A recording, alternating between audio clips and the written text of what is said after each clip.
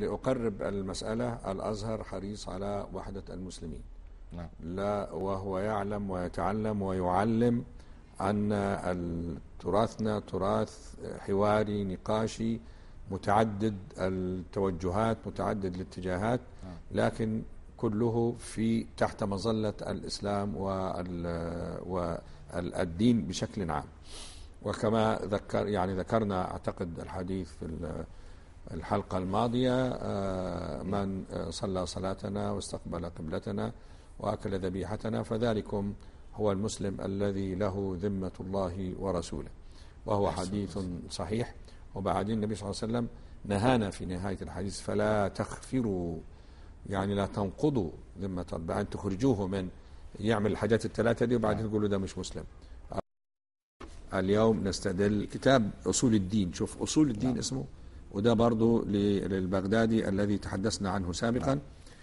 آه هو كان يستعرض آه مسائل في ترتيب أهل السنة والجماعة. من نعم. هم أهل السنة؟ كأنه يجيب على هذا السؤال الذي طرح آه حديثا.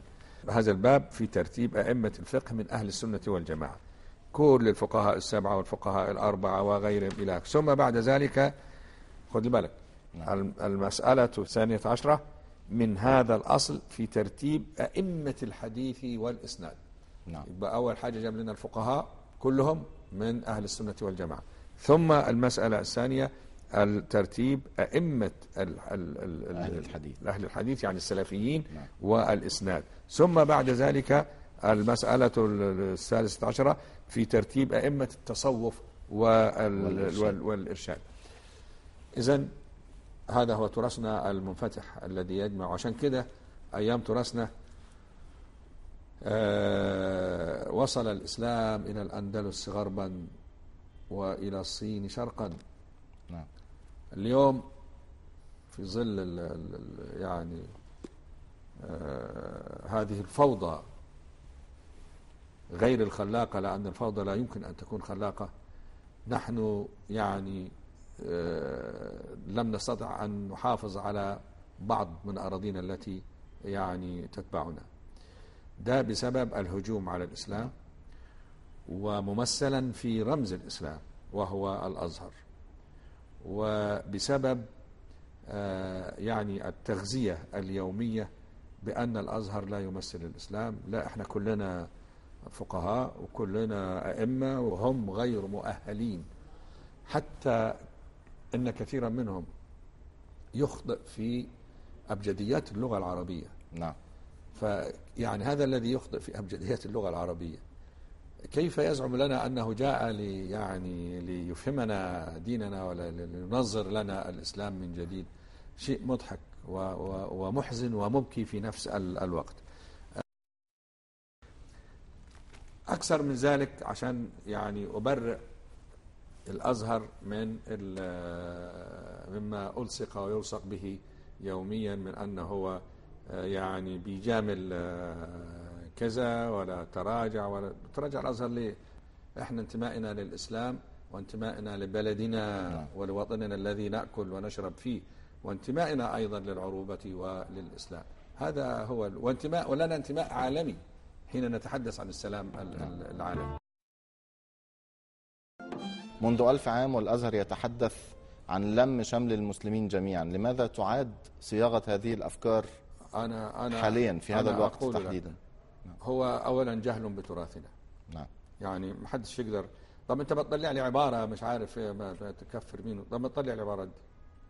لما يعني أنتم ناس قلبكم على البلد وقلبكم على المسلمين وقلبكم على حضاراتكم. نعم. وعلى وعلى طب ما تطلع الكلام اللي بقوله ده أنا واللي إحنا بندرسه؟ لكن لا كله ده يعتم عليه. نعم. إنما ياخذ حاجة علشان لأنه مطلوب ال ال ال ال الإثارة مطلوب الفرقة مطلوب الاختلاف. نعم. وأنا لا أريد يعني أن أدخل في في في مسائل آه الأجندات الدولية والعالمية والكلام ده معلش. ما أنا يعني خلينا أتحدث آه عما أراه وعما نعم.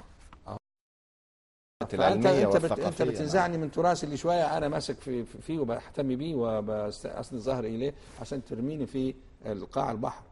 لأن لا يوجد لا توجد ثقافة أوروبية حتى هنا على الإطلاق. إنما المطلوب أن يكون الشارع المصري كالشارع الأوروبي.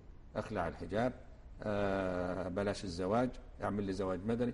هل هذا هو الذي نريده الآن لبلادنا ونحن في أزمة أزمة يعني أزمة وجود أو أزمة عدم؟ لو أردنا أن نرد بمقال على مقال يشتم الأزهر لا يسمح لهذا المقال إلا بعد يعني عناء شديد. لا يرى النور. لا يرى النور. وإذا أردنا أن يخرج واحد تاني في القناة يتحدث بصعوبة شديدة وقد وكثيرا ما يرفض. كأن هناك حملة على الأزهر الشريف هذه الحملة والله لا تصب إلا في فلسفة داعش. ونظام. داعش وحرب داعش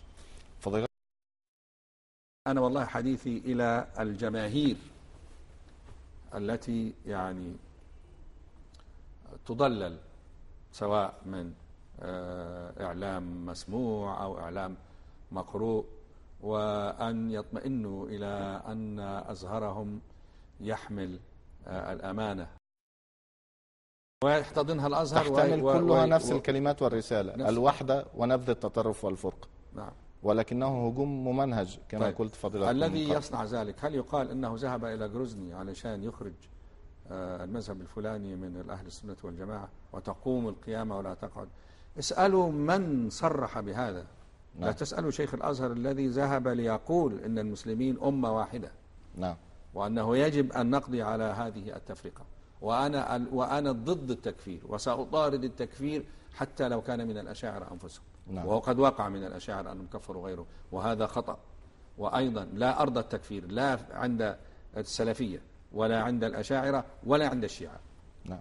يعني ثم تفرقة المسلمين إلى أشاعرة وصوفية وسلفية. يا أخوانا هذا كلام هذا كلام مدرجات وكلام علم وكلام كتب.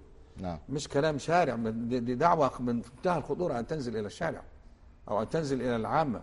فضلا عن أنك أنت يعني تدعمها بأموال وبجنود وبمدربين وبدعاة. الشريف. فالمؤتمر الأخير كان مبشر لأن كان الحوار فيه صريح إلى أبعد الحدود. أولا ضرورة العمل على خلق عالم متفاهم ومتكامل من خلال بناء حوار مجتمعي إسلامي مسيحي.